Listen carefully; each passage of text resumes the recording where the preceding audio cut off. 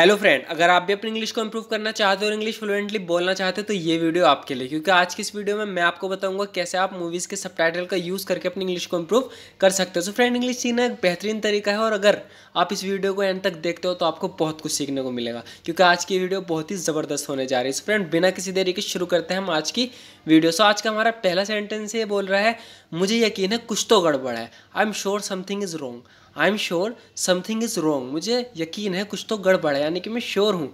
I am sure something is wrong next होगा friend one more thing एक बात और। वन मोर थिंग तो कुछ बता रहा है और बताते बताते कह रहा है कि वन मोर थिंग यानी कि एक बात और।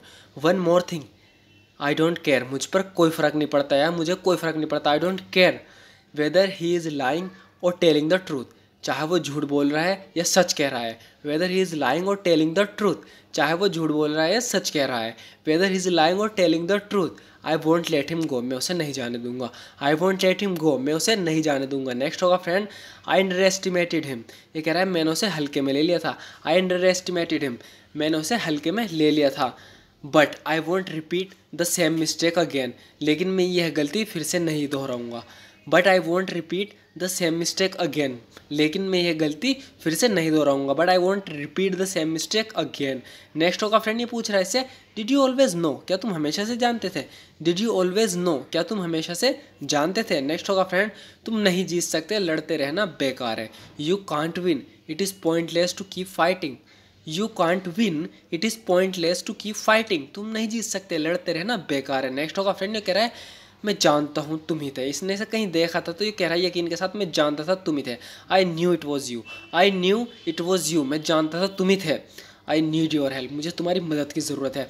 I need your help I am in trouble I am in trouble मैं मुसीबत में हूँ। आई एम इन ट्रबल मैं मुसीबत में हूँ। And you are the only one who could help me और तुम ही हो जो मेरी मदद कर सकते हो। और तुम ही हो जो मेरी मदद कर सकते हो इसे इंग्लिश में बोलेंगे। And you are the only one who could help me next होगा फ्रेंड प्लीज़ समझने की कोशिश करो। मैं तुम्हारी मदद नहीं कर सकता। Please try to understand I can't help you please try to understand I can't help you समझने की कोशिश करो, मैं तुम्हारी मदद नहीं कर सकता.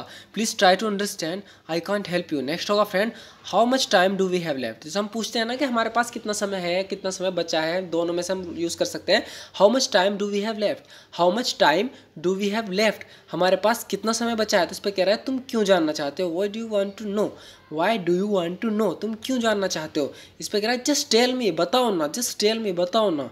How much time do we have left हमारे पास कितना समय बचा है?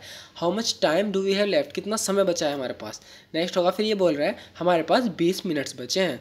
We have twenty minutes left we have twenty minutes left हमारे पास बीस मिनट बचे हैं। नेक्स्ट होगा फ्रेंड ये पूछ रहा है, लेकिन क्यों? बट वाई ये कह रहा है, क्यों पूछ रहे हो? लेकिन क्यों? But why why do I tell you everything मैं हर चीज़ तुम्हें क्यों बताऊँ? Why do I tell you everything why do I tell you everything next होगा फ्रेंड ये बोल रहा है कि क्योंकि हम दोस्त हैं because we are friend because we are friend and as a friend और दोस्त होने के नाते एंड एज अ फ्रेंड और दोस्त होने के नाते आई हैव राइट मेरा अधिकार है टू आस्क पूछने का। वो कह रहा है I have right to ask मेरा पूछने का अधिकार है एज अ फ्रेंड फिर दोस्त होने के नाते। As a friend I have right to ask इसलिए बोल रहा है क्योंकि इसे बता नहीं रहा। तो ये कह रहा है कि फिर मैं तुम्हें हर बात क्यों बताऊँ? जब ज़बरदस्ती कर रहा है, कह रहा है why do I tell you everything तो इस पर कह रहा है बिकॉज़ वी आर फ्रेंड्स क्योंकि हम दोस्त हैं। एंड एज अ फ्रेंड और दोस्त होने के नाते I have right to ask और मेरा पूछने का अधिकार है। नेक्स्ट होगा फ्रेंड लुक आई मीन हरी तो कह रहा है, देखो, मैं जल्दी में हूँ।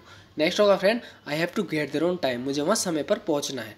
I have to get there on time so friend बताना कमेंट्स बॉक्स में ये वीडियो आपको कैसी लगी अगर आपको वीडियो थोड़ी सी यूज़फुल लगी हो तो आप हमारे इस वीडियो को लाइक कर देना। हो सके तो अपने फ्रेंड्स के साथ शेयर कर देना जो इंग्लिश सीखना चाहते हैं। And thank you so much for watching this video friends